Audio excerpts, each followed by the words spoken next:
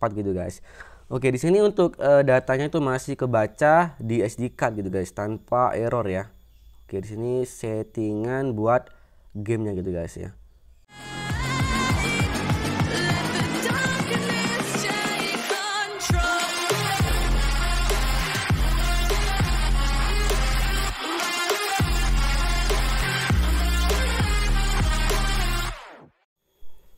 Hello guys, balik lagi dengan saya hanya di channel Santuy Mamang. Nah, kali ini kita bakalan coba uh, membuat tutorial lagi yaitu cara memindahkan data game GTA gitu guys. Soalnya ada yang request gitu ya. Nah, di sini saya menggunakan GTA yang versi mod nanti jika kalian ingin mendownloadnya kalian tinggal download aja uh, mungkin nanti saya, sediakan di deskripsi di bawah atau pin di komentar gitu guys Oke untuk gamenya itu sudah versi mod ya dan di sini kita langsung aja biar nggak lama-lama. Nah untuk bahan-bahannya seperti biasa ada Taichi. Nah, di sini saya masih menggunakan Taichi yang versi 7.0.0 guys dan X internal SD di sini saya menggunakan versi 4.8 ya.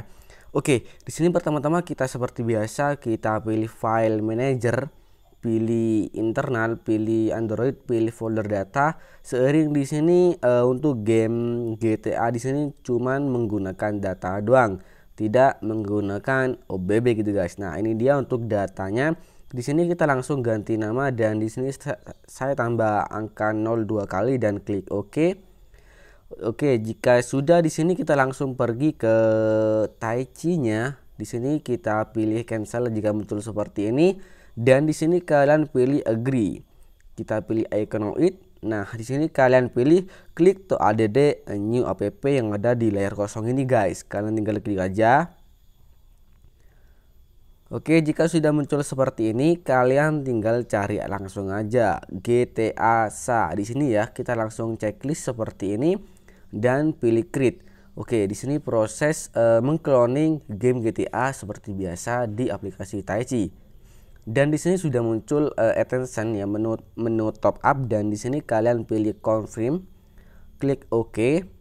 Di sini kita tunggu sebentar. Di sini sudah diinstal GTA-nya atau San Andreas-nya. Di sini kita klik logo GTA-nya seperti biasa dan klik confirm, klik OK. Nah, di sini biasanya otomatis menginstal dari cloning Taichi ini guys. Kita pilih install aja guys ya. Oke, di sini kita tunggu sebentar sampai proses penginstalannya sudah selesai dan di sini sudah selesai. Di sini kalian pilih panah-panah di bawah dan pilih manage modul seperti biasa. Jika muncul seperti ini, kalian klik OK aja.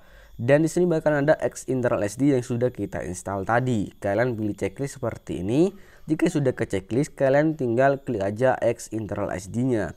Nah, di sini untuk settingannya itu yang paling penting ini guys, page to internal SD card biasanya itu otomatis seperti ini guys atau dengan bacaan SD card 1 ya.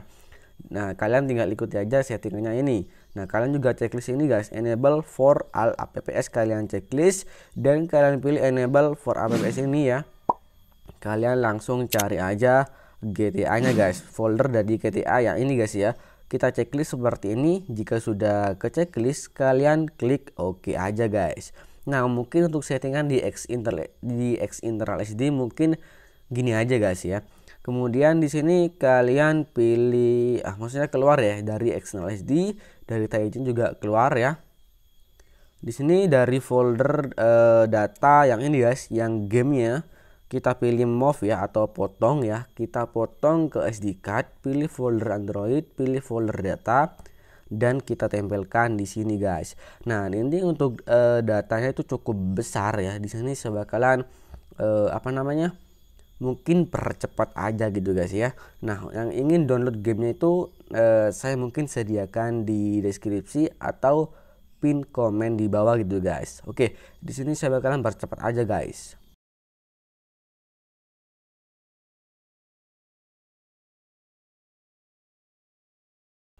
Oke, di sini untuk memindahkan data dari GTN sudah selesai.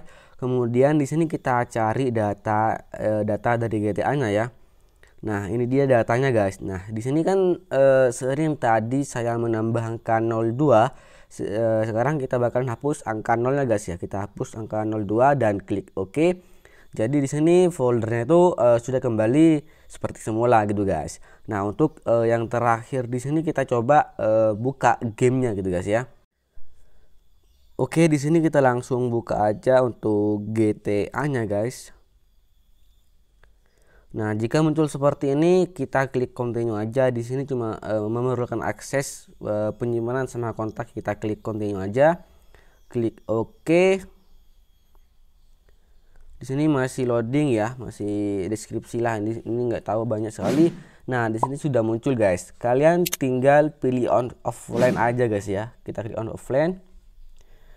Oke, di sini kita pilih start game ya.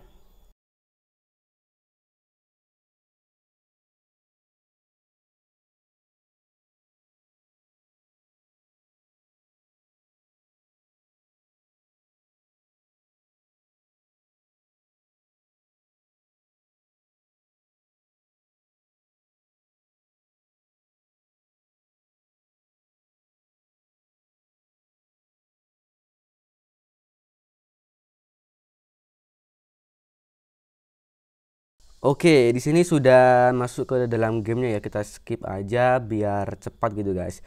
Oke, di sini untuk uh, datanya itu masih kebaca di SD card gitu guys, tanpa error ya. Oke, di sini settingan buat gamenya gitu guys ya. Oke, mantap lah pokoknya guys, nggak ada error sama sama sekali buat memindahkan data apa namanya data GTA itu ke SD card ya. Kalian tinggal coba aja yang ingin download kalian tinggal coba aja di deskripsi di bawah buat uh, download gamenya gitu guys ya. Oke mungkin segini aja untuk video kali ini. Terima kasih. Jangan lupa di subscribe di like juga dan di share. Thank you guys. Bye bye